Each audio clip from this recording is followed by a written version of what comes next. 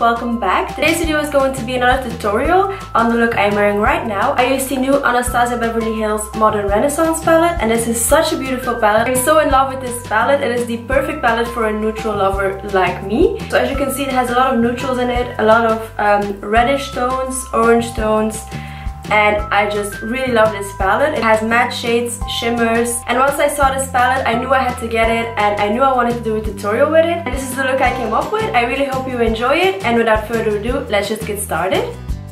Okay, so for today's tutorial, I already applied my base, so I am wearing my foundation, concealer, and eyebrows. And the first shade I'm going in with is called Burnt Soda, and this is from the Anastasia Beverly Hills Modern Renaissance palette. This is one of her new palettes, and it is so beautiful.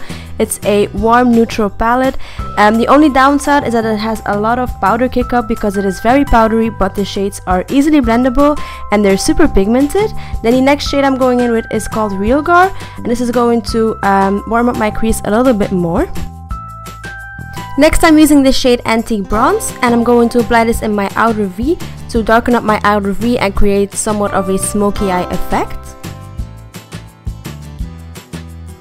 And I'm not going in with a lot of product at once. I'm going to apply a little bit, blend it out and add a little bit more as I do usually.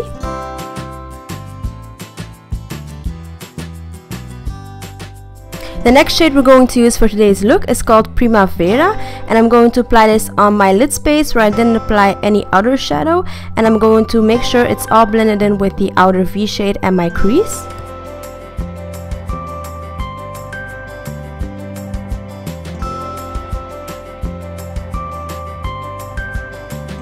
And then I decided I wanted to intensify this look a little bit more, so I went in with some antique bronze again, and then I went in with some primavera again and blended all out. Then I used Realgar on my lower lash line and used burnt orange to blend it out. And that way I am copying my crease shades.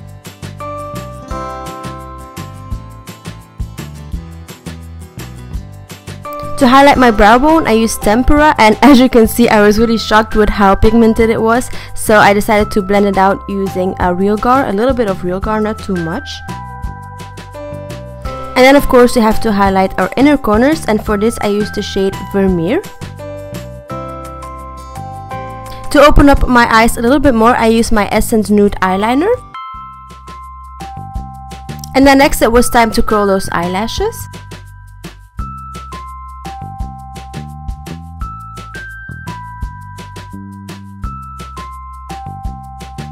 Today's mascara, I am trying out a new one. This is the L'Oreal Telescopic Mascara. It's not actually new, but it's new to me.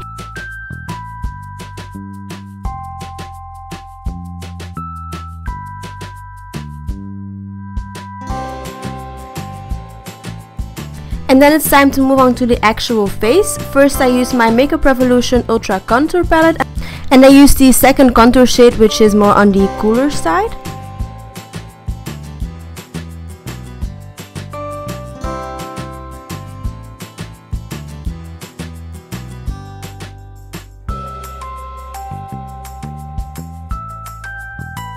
And then for bronzer, I use the Physicians Formula Butter Bronzer in Bronzer, which is a new one and I love it. It smells amazing. It's the perfect shade for me.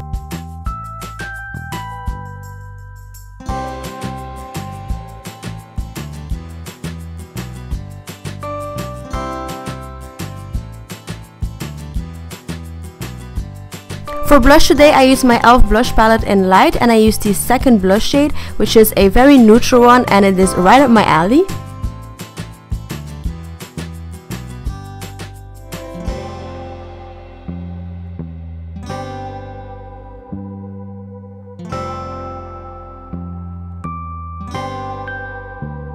And then of course it's time to add some highlighter. Today I used the Lorac Illuminating Highlighter in Moonlight.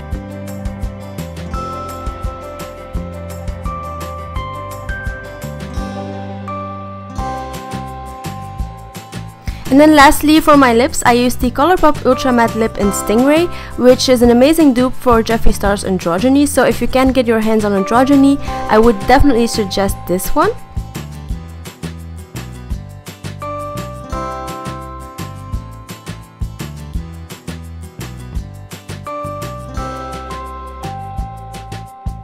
And that wraps up this makeup tutorial guys. I really hope you enjoyed it. Let me know in the comments what you think. And subscribe to my channel if you're not already. And I will see you in my next video. Bye guys!